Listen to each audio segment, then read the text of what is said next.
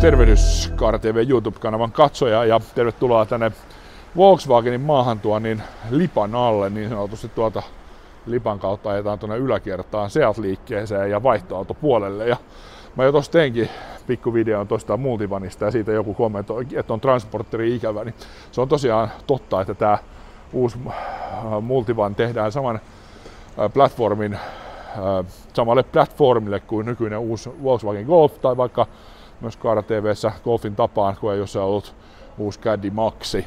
Eli MQB on muistaakseni se kirjainyhdistelmä siihen perusrakenteeseen. Ja, ja tota, äh, se ei siis ole nyt sitten enää niin hyötyajoneuvon pohjalle tehty, vaan henkilöauton perusrakenteen pohjalle tehty. Mutta kyllä tämä niin minusta hyviä asialliset laitteilta vaikuttaa. Ja, ja kun on, kun on istu- ja reisitujen pidennysosat ja tyylikäs ohjaamo, on, on semmoinen laite, millä itse voisin ihan hyvin ajella. Tykkää, tykkää ja aina tykännyt multivaneista ja karavelleista ja transportereista, vaikka ne nyt sitten ovatkin aikaisemmin ollut huotu, hyötyajoneuvoja. Mutta tässä nyt sitten, nyt koeajo on lähtevä Cupra Born. Takavetoinen 204 hevosvoimainen sähköauto, käytännössä teknisesti sama auto kuin Volkswagen ID3, ja hyvin pitkälle tilojen puolesta yhteneväinen. Ei mikään jättikokoinen tavaratila, ehkä siinä se syy, minkä takia päinvastoin kun minä ennustin, niin tämä ei ehkä ihan niin suosittu auto ollut. Sen sijaan sisarmalli Volkswagen ID3, ID4 on ollut hyvin suosittu. Yli 1500 myytiin vuonna 2020 ID4 Suomessa ja se oli suosituin sähköauto.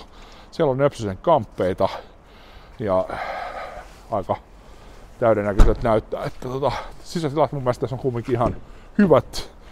Tosin ne nyt sitten vasta testataan varsinaisen koeuraportti, joka tulee sitten Kaara TVn arvosisällön jäsenalueelle. Mutta tota, näyttää tuossa meikäläisen ajoasennon takana, niin kumminkin olevan ihan hyvin jalkatilaa. Ja ID3 jäisi semmoinen fiilis, että asiallinen laite ja hyvät tilat. Ensimmäinen Cupra, jossa on reisituen pidennysosalla varustettu istuin, sama istuin kuin ID4 ja ID3 sportti-istuin. Mä tykkään tästä pinnasta, se ei liuu. Se sopii mulle vallan mainiosti. Mä en ole nahkamiehiä, eli en kaipaa auton istuimiin nahkaa.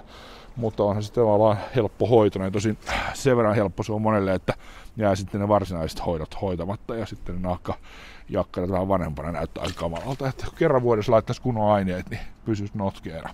Sitä suosittelen lämpimästi sähkösäädet, erittäin hyvä ajoasennon saa. Ja, ja tota, mä tykkään tästä mittarista, joka kulkee täällä ohjauspyörän mukana, jolloin se on aina niin kuin hyvällä korkeudella kuskiin nähden. Iso keskiruutu, sama kuin ID4. Mä rupesin miettimään sitä, että oliko ID3 vähän pienempi.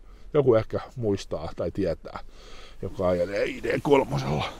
Vilkastaa vielä tuosta toiselta puolelta. On vähän kuviointia.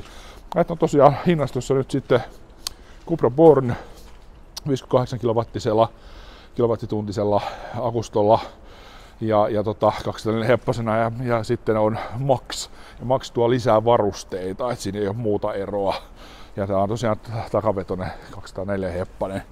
Ja ää, hinta tälle ilman lisävarusteita 42 990 ja sitten se on 4 tonnia lisää, niin saat sen maksin paremmalla varustuksella varmaan jotain lisiäkin saa.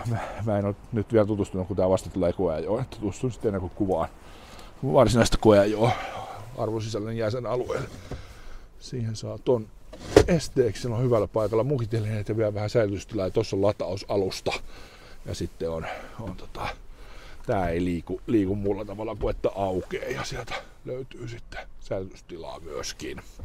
Mutta tota, mun mielestä siistin näköinen ohjaamo, hyvän näköinen tuo istuin, sain tosi hyvän ajoasennon, ajoin tuosta tallista tähän näin ja nyt sitten lähden tätä testailemaan. Tervetuloa katsomaan sitä varsinaista koeajoraporttia Kaara TV arvoiselle jäsenalueelle.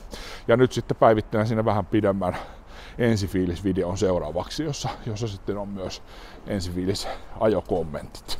Kiitos kun olet täällä Kaara YouTube-kanavalla. Ja jos dikkaat meikäläisen autojutuista, pistä ihmeessä kanava tilauksia kello päälle, niin tiedät aina kun tulee uusia videoita, niitä tulee runsaasti, mutta vielä enemmän niitä tulee Kaara TVn arvoiselle jäsenalueelle, eli kannattaa tulla sinne mukaan seuraamaan. Lämpimästi tervetuloa, pääsee sitten descriptionin linkeistä mukaan jäsenalueelle ja liittymään Storen kautta. Toivottavasti nähdään siellä. Mukavaa päivää sulle. Morjens morjens. Yeah.